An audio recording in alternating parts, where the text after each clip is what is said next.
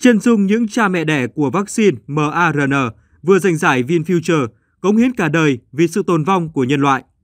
Vào tối ngày 20 tháng 1 năm 2022, lễ trao giải VinFuture lần thứ nhất trong khuôn khổ tuần lễ khoa học VinFuture từ ngày 18 đến ngày 21 tháng 1 năm 2022 chính thức diễn ra. Quỹ giải thưởng do tỷ phú Phạm Nhật Vượng cùng phu nhân Phạm Thu Hương sáng lập, nằm trong số những giải thưởng có giá trị lớn nhất trên thế giới. Trong lễ trao giải lần đầu tiên được tổ chức, giải thưởng chính trị giá 3 triệu đô la Mỹ đã thuộc về những nhân vật xứng đáng. Bộ ba tác giả của vaccine COVID-19 mRNA, mRNA, công nghệ đứng sau các loại vaccine COVID nổi chín, nổi tiếng như Pfizer-BioNTech và Moderna. Tiến sĩ Carico, giáo sư Westman và giáo sư Piet Kulis có thể xem là cha mẹ đẻ của nhiều loại vaccine COVID hiện nay, góp phần đưa nhân loại dần đạt được trạng thái bình thường mới, chung sống với dịch bệnh đã đẩy đoạn nhân loại suốt 2 năm vừa qua và để đạt được những thành tựu này là những sự nỗ lực đánh đổi để cống hiến cho toàn nhân loại suốt cả một cuộc đời. Katalin Carico, con gái người bán thịt, dành cả đời cho công nghệ mRNA. Tiến sĩ Katalin Carico sinh ra trong một gia đình làm nghề bán thịt tại Hungary. Ngay từ nhỏ bà đã có ước mơ trở thành một nhà khoa học. Năm 20 tuổi bà tới Mỹ sinh sống, nhưng công việc không một chút ổn định suốt hàng chục năm tiếp theo. Đổi lại sự nghiệp nghiên cứu của bà thăng hoa khi dành tất cả cho mRNA, thứ công nghệ là nền tảng cho các loại vaccine Pfizer và Moderna hiện nay. ARN là acid ribonucleic với chức năng chuyển hóa thông tin từ bộ gen của con người ADN thành protein. Nó tiếp nhận thông tin di chuyển của chúng ta, chuyển nó đến nhà máy sản xuất protein trong tế bào, các ribosome để tổng hợp thành protein thành phẩm. Hiểu đơn giản hơn là có những loại protein đặc biệt mô phỏng lại mầm bệnh có vai trò quan trọng trong việc kích thích sản sinh kháng thể để giúp chúng ta chống lại mầm bệnh đó.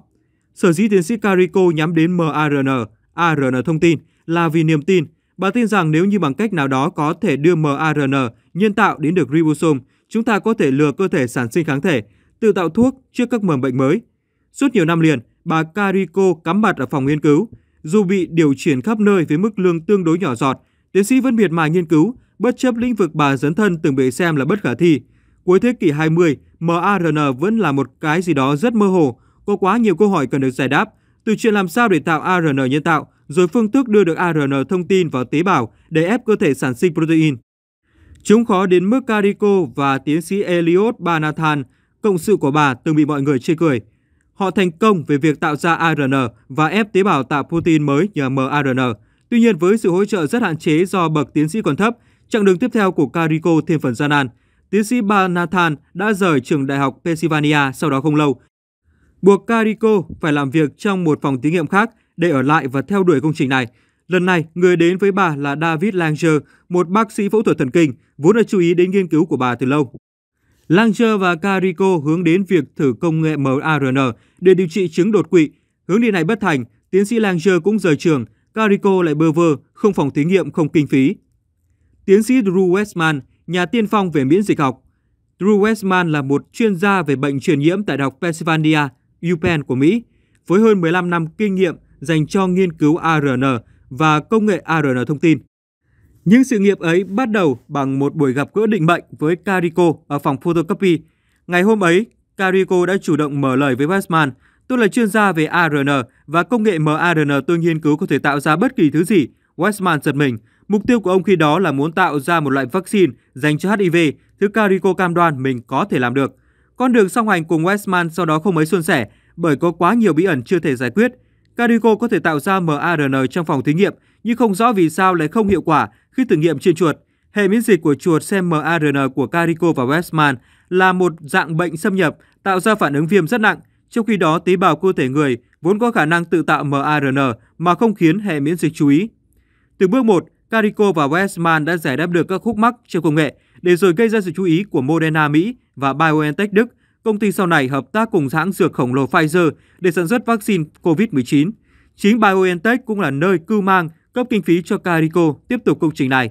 Trước tiềm năng quá lớn của mRNA, các hãng dược bắt đầu làm nhiều thử nghiệm chế tạo vaccine tới công nghệ này, ban đầu là cúm, rồi Zika và nhiều virus khác nữa. Tuy nhiên bước đột phá chợt đến khi COVID-19 xuất hiện. Hàng chục năm nghiên cứu, giới khoa học hiểu rằng virus corona có cơ chế lây nhiễm dựa trên gai protein trên bề mặt, cấu trúc giúp chúng xâm nhập tế bào khi lọt vào cơ thể. Với mRNA, vaccine phòng COVID-19 được thiết kế trong thời gian chỉ tính bằng ngày. Giáo sư B.T. Kulis, mảnh ghép cuối cùng. Khi chế tạo các loại vaccine mRNA ban đầu, có một vấn đề là nó cần một lớp màng bao bọc bằng chất béo để đưa được thông tin đến tế bào. Vấn đề nan giải ấy đã được giải quyết nhờ giáo sư Pierre Kulis từ Đại học British Columbia với công trình nghiên cứu kéo dài 25 năm cùng nhiều cộng sự. Giáo sư Kulis là người tiên phong tạo ra công nghệ này từ lâu trước khi đại dịch, với nhiều nghiên cứu và thử nghiệm đã được thực hiện. Suốt hơn 20 năm, tôi cố gắng tìm hiểu các loại màng chất béo lipid nhưng chưa thể tạo ra ứng dụng điều trị cụ thể. Sau cùng, chúng tôi nhận ra rằng lớp màng sẽ có vai trò vận chuyển, đóng thuốc, ví dụ như thuốc ung thư, vốn chứa nhiều tác dụng phụ và khiến cơ thể phản ứng mạnh, dẫn đến giảm tác dụng của thuốc. Với lớp màng này, thuốc sẽ được bảo vệ và nhắm chúng vào nơi cần đến.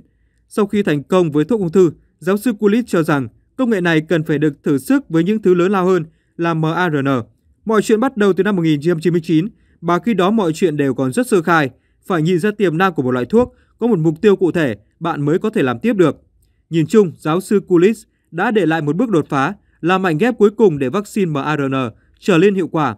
Nhờ sử dụng các hạt chất béo với kích cỡ nano để bảo vệ mRNA, các loại vaccine COVID-19 hiện tại mới trở nên an toàn và đủ hiệu quả để giúp nhân loại từng bước vượt qua đại dịch.